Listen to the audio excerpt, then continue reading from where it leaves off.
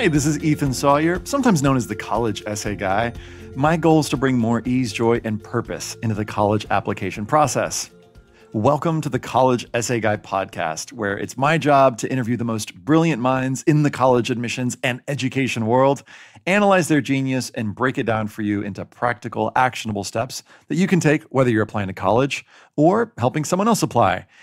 In this case, it might be considering is college even the right place for you? This is the second of two episodes on homeschooling and self directed learning. My guest is writer, speaker, and fellow podcaster Blake Boles, whose work invites students and families to reevaluate the traditional schooling model. Are the typical high school and college experiences really the best ways to spend your time? That's what Blake asks. We'll discuss on this episode can you really quit high school and not like totally ruin your life? Why is this the best time ever for self directed learning, in Blake's opinion? How can we all be more self directed learners? And why should you Google everything, email strangers, and find your nerd clan? The benefits of skipping college, or at least taking a gap year. How to know if you're making a decision for you and not your parents. And again, just a fair warning that listening too closely to this episode could mean that this is the very last College Essay Guy podcast episode you ever listen to. And that could actually be a very cool thing. My guest today is Blake Boles. He's the founder and director of Unschool Adventures and the author of The Art of Self Directed Learning, Better Than College, and College Without High School. He hosts the Off Trail Learning podcast, and he's currently working on a new book. Blake, welcome to the podcast. Thanks, Ethan. Great to be here. I'm so glad you're here. So, I'm curious about the new book. What's the new book on? Uh, the working title is "Why Are You Still Sending Your Kids to School?" Question mark. And I'm trying to get parents who are already thinking like maybe my kid is not a good fit for school to then just take the next step and and leap into a, a more radical form of alternative education instead of sticking with the system that's not really working. And so this is my first book written directly for parents. My first books were written for young people. Is this is this a kind of book that would be relevant for even parents who are considering this or is this for students who maybe have tried sort of the conventional route we'll say and have found that it doesn't work for them? It's definitely relevant for someone in your situation. And uh, you know, there are some people who believe that if if you think your kid's not a good fit for school, keeping them out of, of primary school is the most important thing you can do. And if if they go through sixth grade, then they're irrevocably damaged somehow. And I just I really don't believe that. I've met so many young people who have figured out that they should take an alternative path in middle school or high school. Some even in eleventh grade like they're about to graduate from a, a, really good school and they're like i'm just i can't do this anymore and they leave for their senior year and so I, I don't think any time is too late. And and you're starting at, at the perfect time because your your kid's about to go into school. You got to make the hard decisions. That's how i feel. Uh, and that's part of what inspired you know me to come to the homeschooling conference where we met. So just to give the listener a little context i'd heard a little bit about blake and about his work. I checked it out online. There are so many resources. We'll be you know sharing a few of those and there will be stuff on the podcast page, the show notes page, where you can see all that Blake has been up to. But there's just a wealth of stuff, and I was delighted to to meet Blake in person, and we chatted just briefly, and I was like, "Hey, can you come on the podcast?" And he's like, "Sure, I do podcasts all the time." So here we are. Um, let's set context, Blake. What is self directed learning, and and how did you first get into thinking about it? Sure. Uh, Self directed learning to me is really about consent, which I think is something we're going to touch on again later. And so it can be structured, it can be unstructured. A lot of people think it means totally unstructured learning. If, if there's a curriculum, if there's a class, if there's a teacher, if there's any sort of you know, imposition on a young person, then it's not self directed. I, I disagree with that. I think that a lot of what self-directed young people do often does not involve a curriculum. But you can choose, you can you can fully consent to take on really hard, really structured stuff. And that's what most of these young people do, even though they don't have curriculums for most of their lives. They still the majority of them go on to college and careers and you know highly structured stuff. So self-directed learning is consensual learning in my book. And I did not grow up in an alternative education environment. I went to public schools in Central California and ended up going to UC Berkeley uh, to study math and science, specifically to study astrophysics because it sounded extremely impressive. And I thought that because I did well in math and science in high school, that I should just do that and be like a research scientist. And I got about halfway through a degree and then realized that I really didn't love math or like real science, like the real hardcore physics enough. And I thought, well, I, maybe I could be a high school science teacher. And then I started reading books by like teachers who had taught in the public and private systems for a long time and gotten super frustrated. And, and the most important person for me in that regard was John Taylor Gatto, the, the New York City public school teacher who won New York uh, City Teacher of the Year three times in a row and New York State Teacher of the Year twice in a row. And, and in 1991, when he received both of those awards for the second time, he quit teaching and he wrote an op ed to the Wall Street Journal saying he no longer wanted to make a living hurting kids anymore. And he started writing and lecturing about what he saw as the, the fundamental deficiencies of the public school system and, and the private school system, pretty much all conventional school systems. And I read, I stumbled upon one of his books, and that was the beginning of the end for me. And I ended up uh, designing my own degree in alternative education.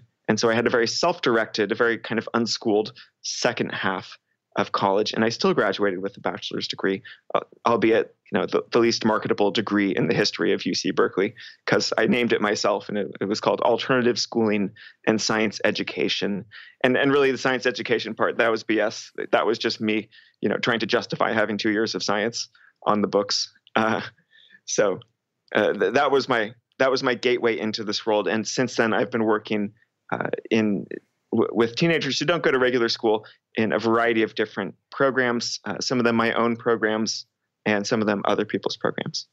One of the things uh, that you shared in your presentation that I found really interesting was this screenshot of the 12 action themes of Gatto's guerrilla curriculum. And I'm going to I'm going to read these because I just want to sort of uh, you know just it's in terms of like sort of setting context for folks and giving some themes that we might be talking about. Uh, speak these aloud. And then I also am interested to hear are there a couple of these that there might have been light bulb moments for you in terms of your journey, early journey, and getting into self directed learning. So, uh, one of these is substantial community service. Another is apprenticeships. And by the way, these are cost free methods to restore primary experience and intellectual quality to schools. That's how this is framed. So we've got substantial community service, apprenticeships, parent partnerships on school time, team projects like gardens, cross age tutoring, talent shows, food co ops. We've got independent study, work slash study, including starting a business, mentorships, solitudes like fishing, hiking, contemplation, silence, etc., adventures or discoveries like mapping, exploration, meandering, challenge, etc., field curriculum like furnishing an apartment, shadowing an employee at a job site, uh, analyzing characteristics of good and bad swimming pools.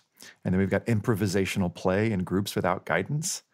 And then the 12th one is flex time, flex space, flex sequencing, and flex text selection. And I know that in a little bit we're going to get into some of these more particular, but were, were any of these as just as you're hearing about them, because you've heard about these, I'm sure, bunches of times before, were any of these particularly meaningful to you as you first started thinking about self directed learning or really getting into it? What I like about this list is that it highlights pretty much all the parts of school which kids really love. It's all the extracurricular stuff. It's you know drama. It's uh, doing some sort of cool internship or apprenticeship if your school offers that. It's independent study. It's uh, going on an adventure, like if you get a chance to travel internationally with your school, or if you get to go to maybe a competition or a conference somewhere else. That's the stuff that really stands out, and that's what stood out in my young life. Uh, I went to a, a, summer camp in the mountains of Northern California. That was very life changing. I went uh, to go live abroad in South America when I was 14 for about a month, and that was a, a super difficult Spanish immersion experience. And I remember growing and changing and, and learning, you know, learning Spanish or learning how to do outdoor skills so rapidly. And it was such a contrast to the typical day to day life in school, which was just slow, monotonous, bureaucratic, just a waste of my time and a waste of most other people's time. Uh, yeah, some kids get a lot out of school. I got some things out of school. It was not a complete waste, but it was just so inefficient. You just, you know, reading Gatto and reading about how he got his kids out of his middle school English classrooms and into the different parts of New York City, using New York City as a as the curriculum and uh, not not uh, he says uh, this is how you restore intellectual quality to schools And most people, when they hear that phrase, intellectual means academic, schools means you're inside a building. His school was uh, were the neighborhoods and the boroughs of New York. And intellect, uh, you know, this the academic analysis for him came after the primary experience. Kids need to experience real things, have real boundaries, have feedback, have people push back against them. And that just doesn't happen for most kids in school. It's just this big fake world. It's a giant game that we learn how to play. And it's a waste of most people's time. I love like you speaking to the inefficiency, especially as I've gotten older. Really, as I look back on my high school experience, which was also a public high school experience, I felt that tension. And I, I think uh, I like to say to my friends, I think the best class I took in high school was typing because it really taught me a tool that I've used since, you know, a lot in my life. And I, the other thing I love that you're talking about is I love hearing you say New York City as a curriculum and thinking of the world and the, this, uh, uh, you know, an urban environment, for example, as a curriculum. Um, that just really lands with me. So, the title of the talk you gave, I want to share with folks. It's it was yes, you can quit high school and everything will turn out okay. Blake, could this be true? well, I'm biased. Uh, I think so. I think it is. Uh, I can't promise that it'll be true for your kid or or anyone's particular kid, uh, because high school means a lot of different things to a lot of different people. But what I get into in the talk is saying if your kid clearly is is struggling, but not just struggling like you know can't get an A instead is getting B's. It's more like has declining mental health, is uh, is not making friends, is feeling like life is very pointless, uh, is feeling extremely bored. Uh, this is all a, a situation that that doesn't have to be, and there are all these cool alternatives to school out there that range from radically alternative, like the democratic free schools where there is no curriculum, kind of kids get to run the show. They have an equal vote to adults on all matters of substance in the school. Uh, or you could have radical unschooling, which is where you're not just homeschooling, but you are you are homeschooling without any curriculum. The child is driving the process. It's completely interest led, parent facilitated learning. Um, or you can you know dial it back a bit, and there are uh, various uh, private and public options that just give your kid a little bit more choice, a little bit more flexibility. You know, it kind of takes uh, some of the pressure off. And those are great too. You know, not every kid needs complete and absolute freedom uh, to, to design their own learning experiences.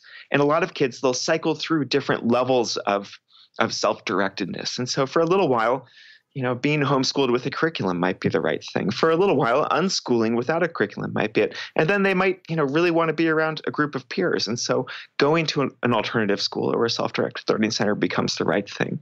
And so, uh, yes, you can quit school and you need to replace it with something else. And there are this, you know, entire ecosystem of choices out there, and very few of us know about them, or we instantly stereotype them into, you know, homeschooling equals uh, they don't they don't know anything about the world and they're unsocialized. Or alternative school equals well, it's a private school, so therefore it must just be for for rich, privileged kids.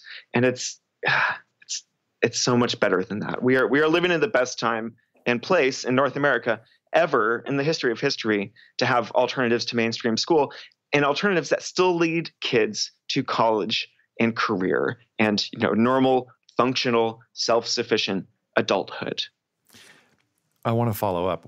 Why is this the best time ever for students and parents to be considering bringing more self directed learning into their lives? So you can just um, compare what we have right now in the United States or Canada or a couple other countries that are really great examples to what we have in other countries at this same moment in history. And in other countries, um, homeschooling is often not legal or it's ambiguously legal or it is legal, but just not many people do it. And so it's not really a great option uh, beyond having very young children. Uh, where kind of every parent is a homeschooler by default.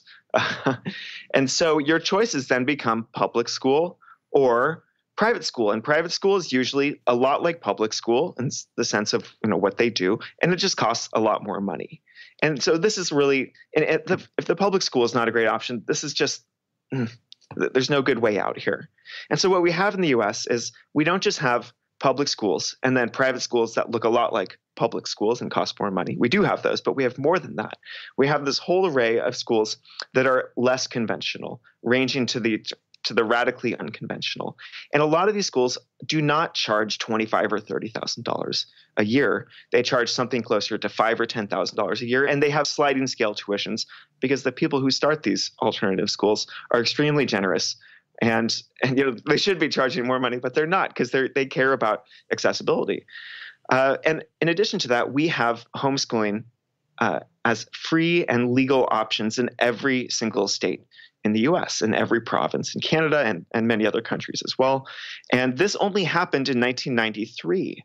There was this coalition of, you know, fundamentalist Christians and then back to the land hippie parents that came together in the 70s and 80s to fought and they fought state by state to make homeschooling legal.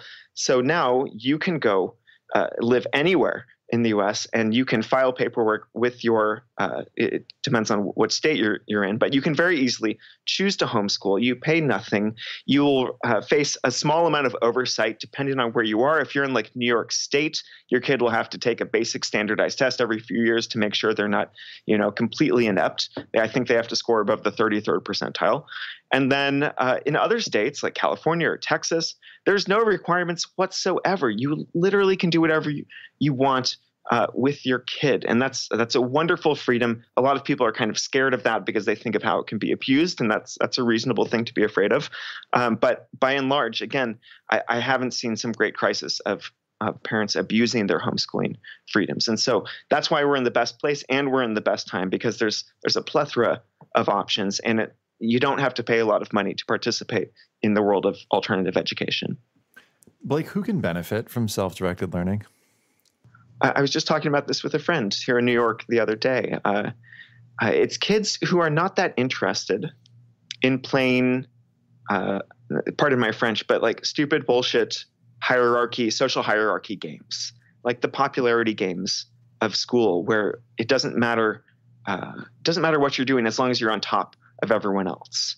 Uh, the, kids who I think gravitate towards team sports are generally not the ones who become unschoolers. Uh, so I think, yeah, there's a certain level of like being weird, being you know a freak or a geek that lead, leads kids to to go in this direction of alternative education. But also, it's the kids who are really genuine about learning, and they want to learn. They want to build skills, and and unfortunately, that's not the culture that is present in most schools and especially middle and high schools. Learning is not taken seriously. If you prioritize learning, that, that is a liability to your social standing in that school. And so there's a lot of kids who are just like, I want to do real stuff. I don't want to wait. I don't want to play these ridiculous games.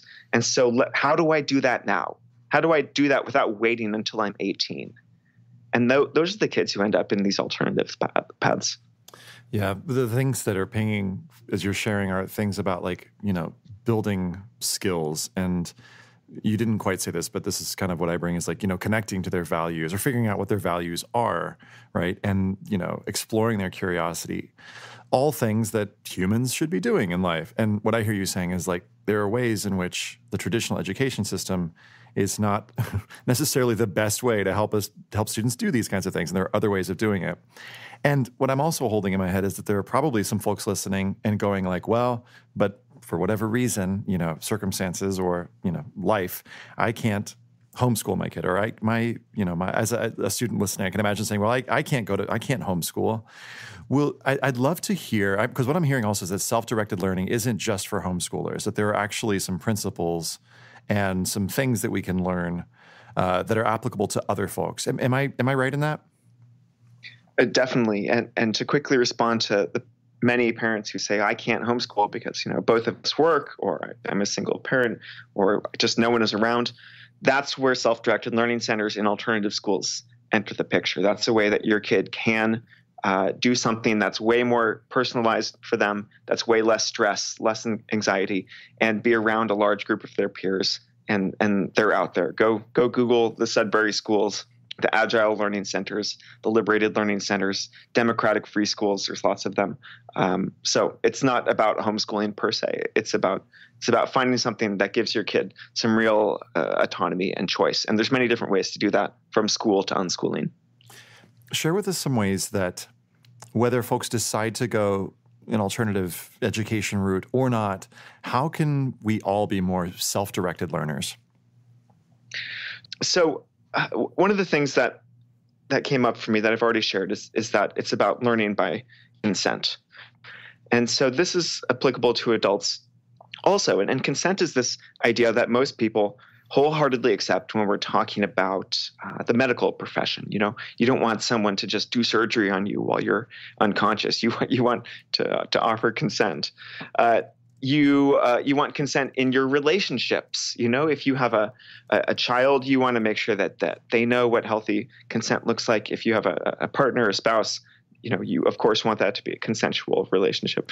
And systems of governance, we don't we want to be represented. So consent is this like broadly uh, appealing concept until we get into the realm of of education where somehow we think it's okay to throw it out and you can't give kids a, a meaningful choice in how they spend 12 or more years of their life. Um, and yet, this is something that we do understand as adults. And so that's that's more about taking something that you understand as an adult and bringing it into the, the life of your children. Um, and I'd love to hear some examples. So give me an example, and let's do maybe one inside the classroom and outside the class. So what is a non-consensual learning experience? And this may be yeah. obvious for folks, but I want to do that. And then I'd also love to do it in terms of like the parent perspective. So not only you know how do teachers non-consensually teach, but also what are some alternatives in terms of that parents can be using with their children. Sure. So I think a, a common example outside of the classroom uh, is sports and also music.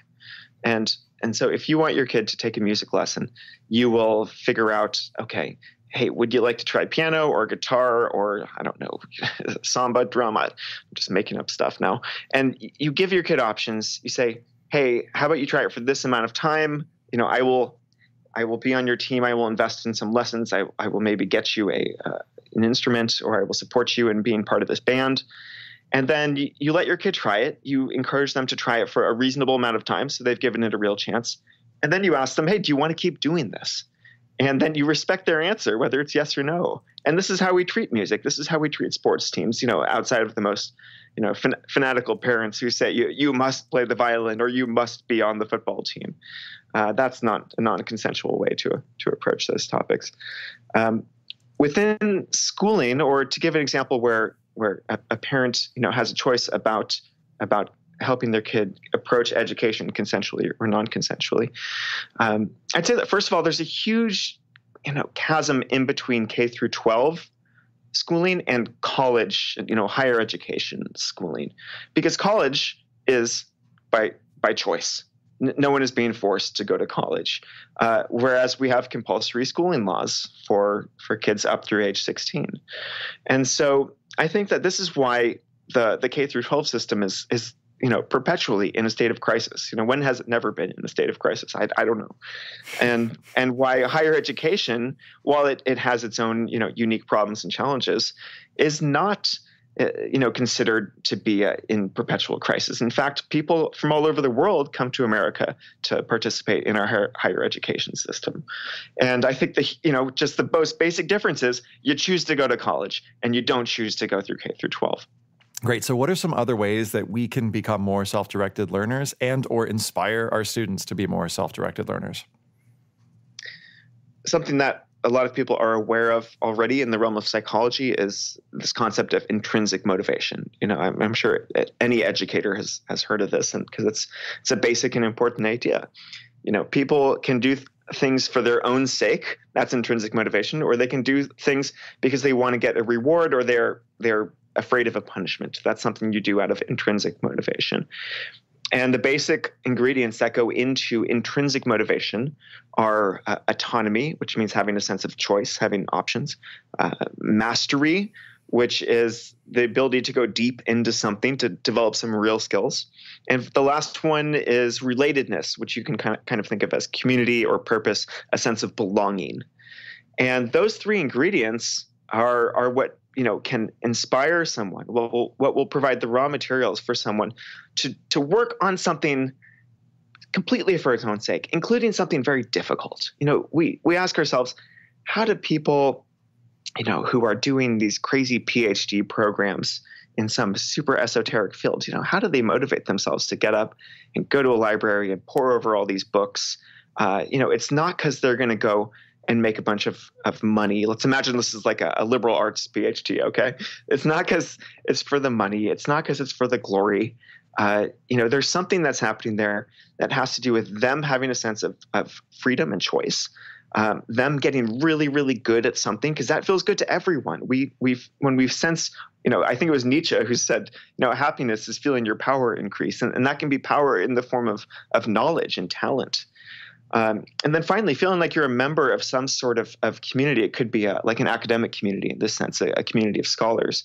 That's what motivates someone to get up and and just pore over dense texts in a library for 12 hours and then try to write some you know, horribly long dissertation. And so we have to be asking ourselves how do we provide these ingredients of intrinsic motivation in the, the educational environments for our kids? And, it, and it, all it takes is a cursory look to say that most school situations, um, outside of some, some nice outliers, most school situations don't give kids much autonomy. They don't give kids a chance to go deep into a skill. They're, they're forced to stay at the surface level and just learn a tiny bit about everything, and then you have to move on to the next thing. And then finally, um, you know, a good school will have a sense of community. It will feel like you have a purpose for being there. I didn't have that experience in my, you know, relatively well-funded public school growing up in Bakersfield, California. The only reason we were there is because we all lived in the same geographic, you know, the same zip codes. And uh, there was no real sense of, of, of togetherness. And it was nothing like what I felt when I went to a summer camp. It's nothing like what I felt when I went off to college and I met other people who were studying the same things or who shared my same interests. Uh, and so I, I, really I think summer camps in particular are a wonderful model of how you can take a kid who might seem lazy or unmotivated in some other context and you take that same kid and you put them into this new context and they will work really hard on something and often surprise their parents in you know how dedicated they become they became. And it's simply you know intrinsic motivation explains it right there. And, and that ties in with with our sense of of what discipline is also. So I'm reading your book last night, and one thing that jumped out at me that I'd love for you to share a little bit about is the Google everything part. Why should students Google everything? Yeah, I think that in our collective uh, adult anxiety about smartphones and the internet and the YouTube algorithm hole, I, I think that it's really easy to just say, you know what, I grew up without technology and and I turned out fine. And so put your damn phone away and and uh, you, you, don't need it for learning. And I'm like, no, no, I, we've already lost this battle, and the technology is here to stay, and we need to go the other direction and embrace it because you know. To Google something is to tap this this collective outsourced hive mind, which is which is the future. You know that we are there already, and we shouldn't be um, we shouldn't be kind of hate myself for for saying it this way. We shouldn't be preparing our kids for a future where uh, where information is considered scarce, which is the the most you know most of history. And um, one of my favorite authors who has written about this is Will Richardson, who's a former public school teacher and administrator. Now he does a lot of teacher training stuff, and he has argued in in his writings for not just having open book tests. So we're talking about still the, the, realm of conventional school. He's trying to get conventional schools to become a, a little bit more self-directed. He says we don't just need open book tests. We need we need open phone tests. You know, let your the kids have their phones and Google the answers.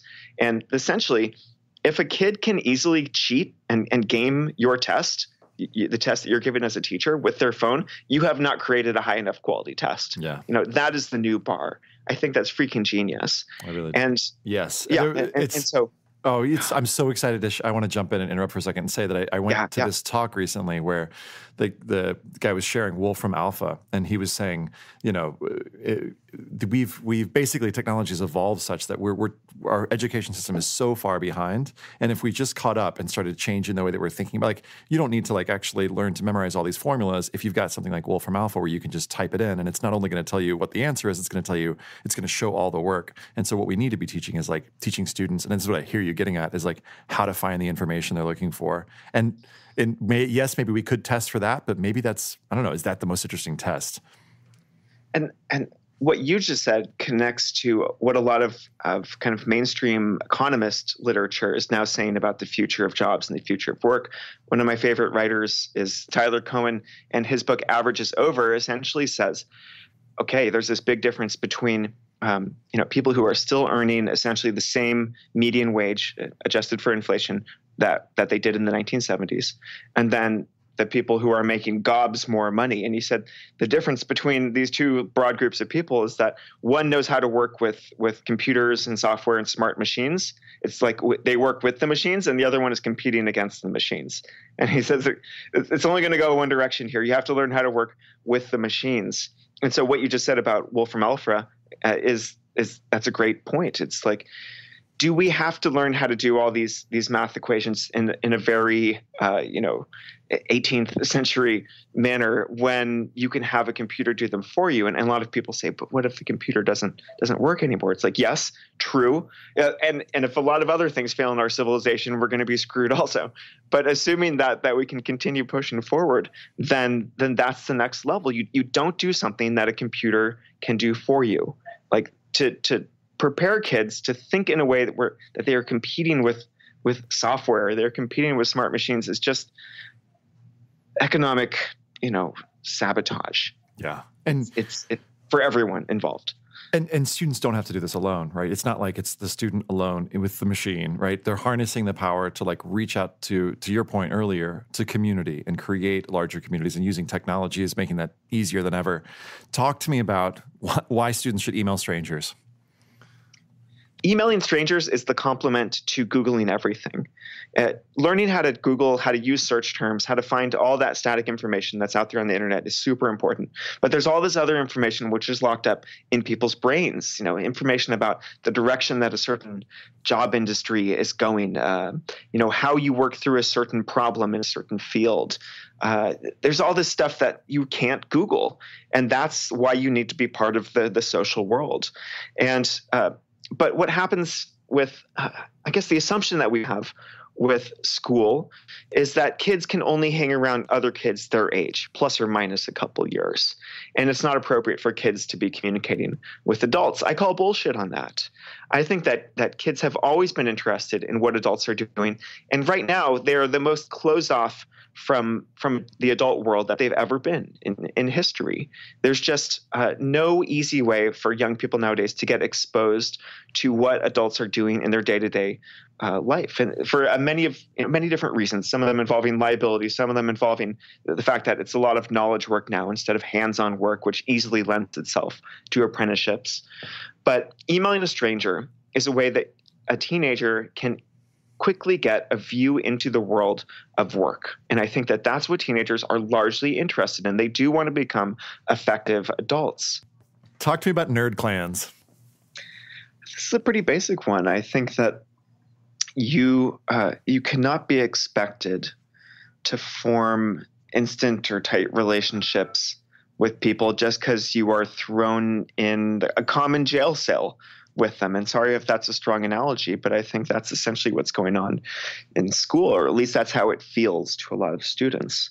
And instead, people um, they form deep bonds when they're allowed to to form affinity groups when they when they center around interests. You know, even that's I think the power of sports teams. Again, it's it's consensual, and so I don't have uh, uh, almost any friends that that remain from high school.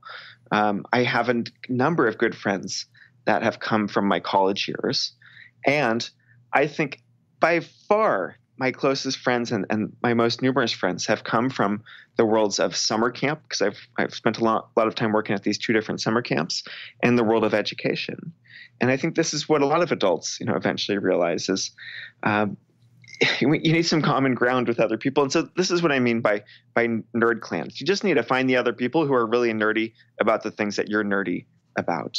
And and that's where you you form tight connections. That's where you feel that sense of belonging that sense of purpose which is important for intrinsic motivation so, your other book is Better Than College How to Build a Successful Life Without a Four Year Degree. Now, I love that, you're, that we're bringing this onto this podcast, which is all about ostensibly getting into college and going to college. Is it possible to build a successful life without a four year degree? I know it's kind of a layup question, but, but talk to me about this. uh, yes, Ethan, it is possible. and uh, a lot of the young people who end up choosing, like very purposefully choosing not to do a four year um, program, in my observation, are those with interests in the arts, in the skilled trades, in tech, entrepreneurship, uh, those who really want to travel and they want to do a gap year or maybe two gap years and get some real world experience. And then they might even go back and they you know will continue to do higher education and end up with a degree just a little bit later than normal.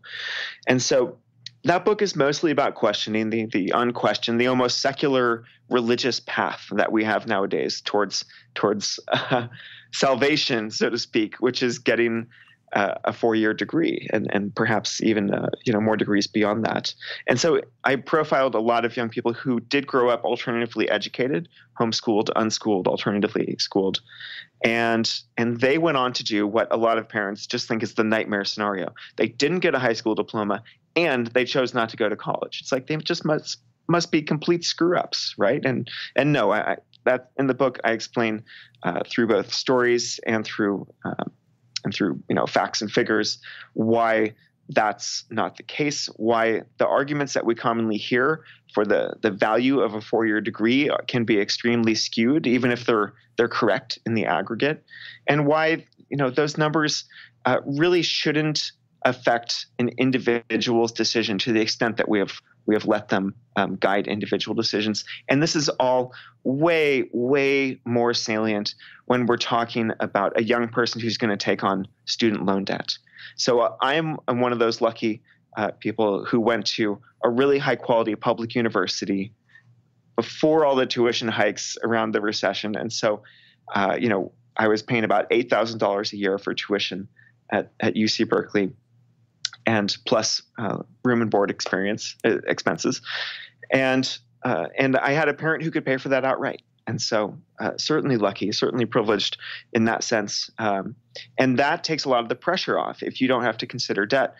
This is all so much more amplified if you were a typical student who's looking at typical levels of student loan debt, which is somewhere on the order of $100,000 after all is said and done. So, what are some good reasons to either skip college or let me say uh, take a year off potentially and take a gap year there's a book that was published in 2018 that i think really dives into this question um, in a way that i never could the book is called the case against education by the economist Bryan Caplan.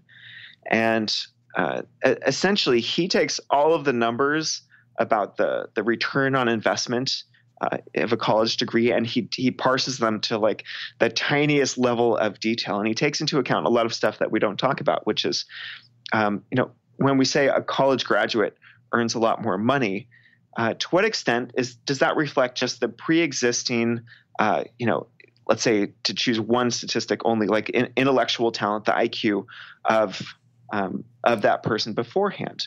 You know, someone who can get into Harvard but chooses not to go to Harvard is, in all likelihood, still going to do very well uh, in in the marketplace.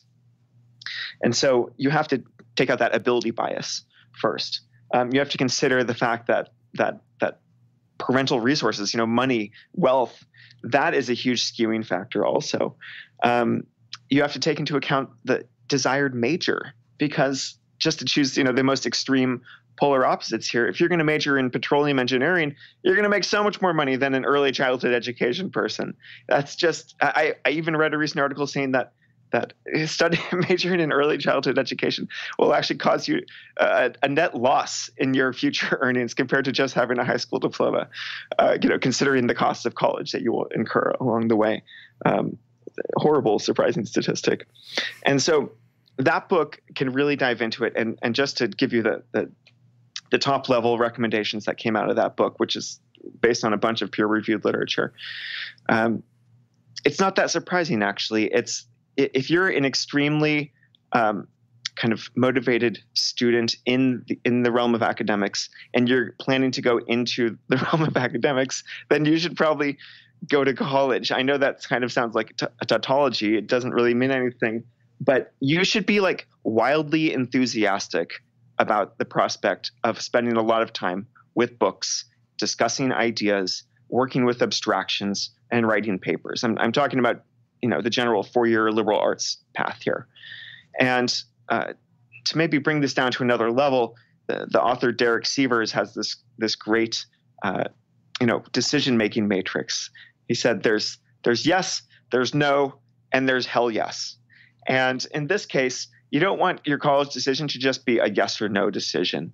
Um, you should actually probably stick to, to no as your default decision until you find that situation which is a hell yes.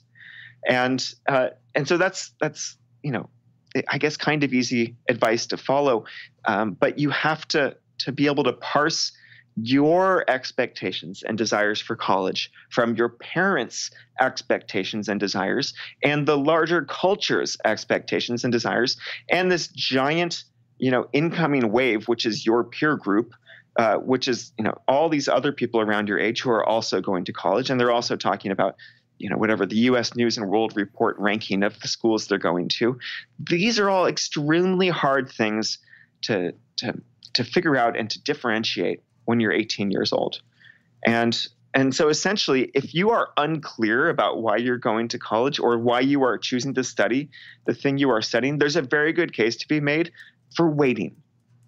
A question that's popping up for me as I imagine being 16 years old and hearing you say, Hey, separate your thoughts and feelings about college from your parents and from societies. Mm-hmm. And it makes me go, if I'm a 16 year old, like, how do I do that? Like, how do I know that I'm making a decision that's for me and not based on these because I imagine that it feels blended for a lot of folks. How do I how yeah. does a student know? Is there like a practical way? Are there questions that students can ask? Ugh, it's it's hard. It's so hard. It's that there's no easy way to get out of this trap.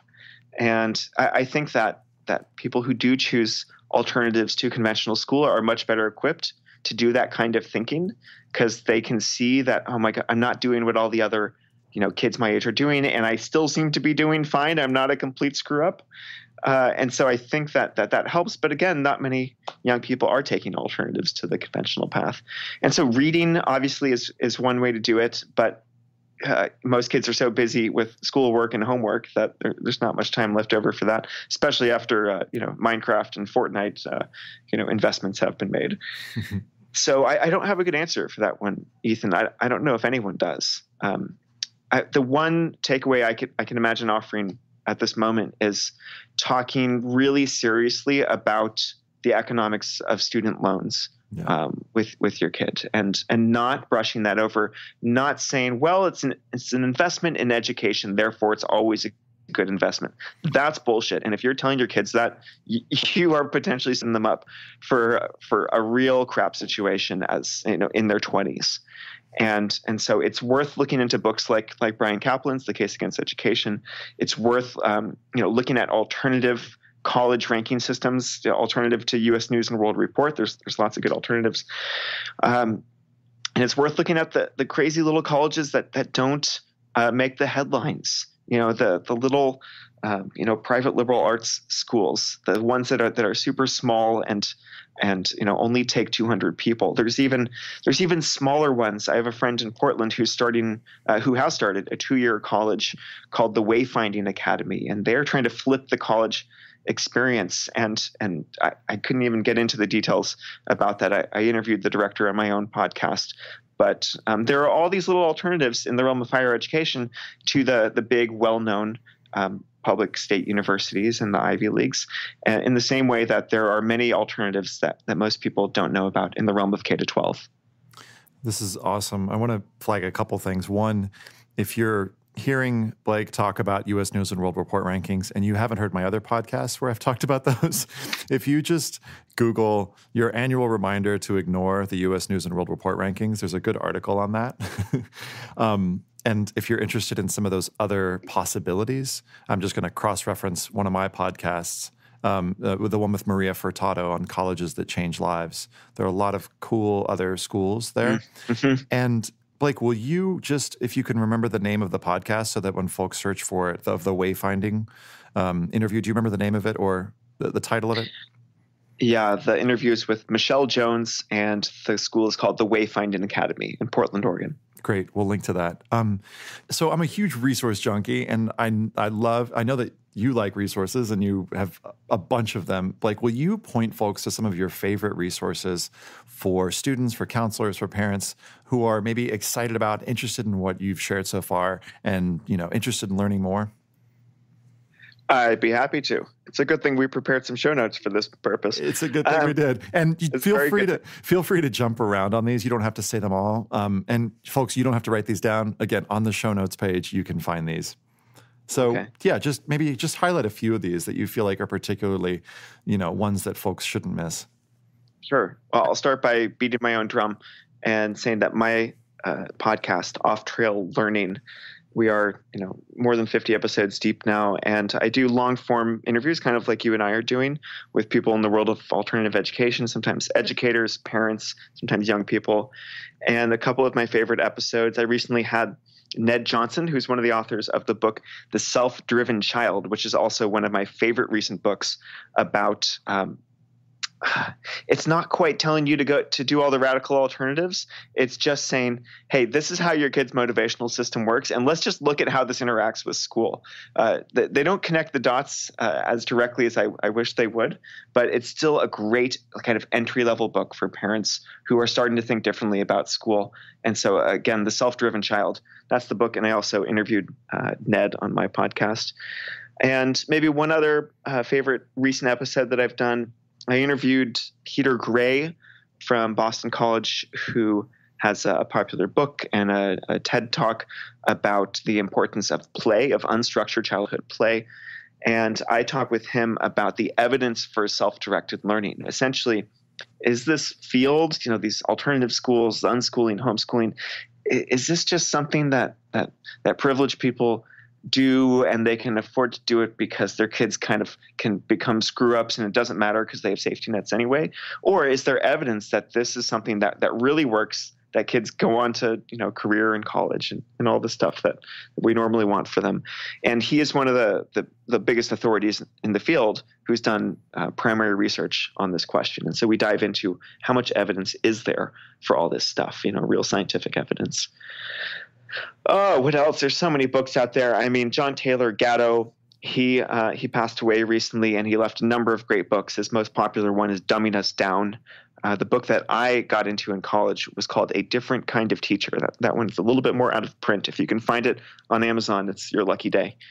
Um, another book is written by my friend Grace Llewellyn. She wrote the Teenage Liberation Handbook, and that was published back in 93 and it's written directly for teenagers. And, and she inspired me to write directly for young people also in my first and second books. And this is just like pure like like fire bottled up in the form uh, of a book that tells teenagers you know you don't have to put up with this this bullshit. You can there's a whole world out there waiting for you and you can enter it tomorrow. And whenever i reread it i, I still fall in love with it over and over again uh, and let's see, one more book that came out recently I'd like to highlight is um, is the book Unschooled by Kerry McDonald, who is a, it's an unschooling mom, and uh, it's not actually just about unschooling. It's a great introduction to the whole world of alternative education. And so, if you were trying to to figure out, you know, what are my options to try to get your bearings, I recommend um, you pick up that book. Let's see a few blogs that I like. I already mentioned Will Richardson. Uh, he's got a blog and some some books that are excellent. And then one other blogger who's who's a bit controversial, a bit uh, iconoclastic, is is Penelope Trunk. And she is an unschooling mom. Her kids are pretty much grown up now, but she is a prolific blogger, and she she writes stuff without a filter, and she says stuff that no other uh, you know homeschooling mom blogger will say and sometimes she ruffles feathers because of it but i think more often she is spot on.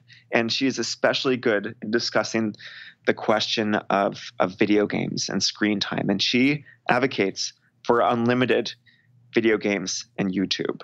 And so you know just just go onto her site and search for those articles and she'll take you on a roller coaster. I, I love her for that. A few other books that have really shaped me um, excellent sheep by William Deresiewicz, which is all about the college admissions game. Uh, it makes the best case I've ever read for doing an unspecialized four year liberal arts degree. Um, the book The Nurture Assumption by Judith Rich Harris, which argues that parents are way less influential on the outcomes of their kids than they think. That's a great way to to learn how to like relax and step back and stop being so controlling. Um, there's a new organization, it's a few years old now, called the Alliance for Self Directed Education. And they are making a real effort to bring together all these different players in the world of, of self directed learning and, and alternative schools. And so they have a great resource and, and they have a great online magazine too. Um, there's a couple summer camps, and so not back to school camp is the one I've spent the most time working with. That's that's started by Grace Llewellyn, who wrote the Teenage Liberation Handbook. If you have a teenage homeschooler or unschooler, that is pretty much the place you want to be you know each august or september is not back to school camp. Like you meet the coolest other teenagers and it's uh, I, I, I could spend a whole episode just talking about uh, that camp. And then there's another one which is great for a little bit younger kids i think they have teen programs also called camp stomping ground and that's out in new york state. Uh, there's homeschooling conferences there's unschooling conferences. Uh, and a, few more of my own things include uh, my company, Unschool Adventures. We've been leading long international trips for teenagers that happen during the school year. So anyone is allowed to sign up, but uh, you know it's more convenient if you're a self-directed learner. And and so I've taken groups to Nepal, Spain, Argentina, New Zealand, uh, Southeast Asia, all over the place, and and I'm scheming an, an around the world trip for early 2020 that that I'll personally lead. Blake, what are you most excited about when you think about the future of self directed learning? Oh, that's a great question. And that's not an easy question either. What excites me is that I think we're going to be going in this direction whether we like it or not. I think that that technology and economic forces are actually the main drivers of of what we now call self-directed education. So for example, why did homeschooling have this resurgence in the 90s and the, the early 2000s. I think it's largely due to the internet. I, I don't think there was you know another equally powerful force that was responsible for these millions of homeschoolers kind of appearing out of thin air and i think that that we're going to continue going in that direction especially with um, an economy that demands uh, more creative thinking, more knowledge work. This is the standard, you know, 21st century uh, skills uh, argument, and and I think schools will reluctantly uh, come along, kind of you know, dragging under their their their heavy weight and, and their their bloated bureaucracy, but they will they will slowly move in that direction, while surrounding those those kind of dinosaur schools. There's this this you know these agile little little mavericks and and those are the little schools or learning centers or homeschooling co-ops or you know world schoolers. Those are the ones that i like to to highlight and champion and be the cheerleader for. And so i feel like it's an exciting time because we have the momentum of history behind us. And uh, and whether you like it or not it's going to be a self-directed future. And, and we're only getting started. Blake thanks for coming on the podcast Ethan, it's been a pleasure. Hi, friends. If your hand is cramped from writing down all the resources that Blake just mentioned, don't worry, because you'll find them, as always, on the show notes page. That's collegeessayguy.com slash podcast, with even convenient links. Fun fact, you can sign up for Blake's newsletter on his website, blakeboles.com, and get a free audiobook edition of his book, The Art of Self-Directed Learning, as if you didn't already have enough action items from this episode. On our next episode, I interview another advocate in the education world. He is Shane Windmeyer, the founder and executive director of Campus Pride, the nation's leading LGBTQ organization for student and campus organizations working to build future leaders and create safer campus communities. Hey, ever left a review of this podcast? If not, I'd really appreciate it. It helps me share this stuff with more folks. You can do it at collegeessayguy.com slash podcast. As my friend Giovanni would say, be easy, y'all.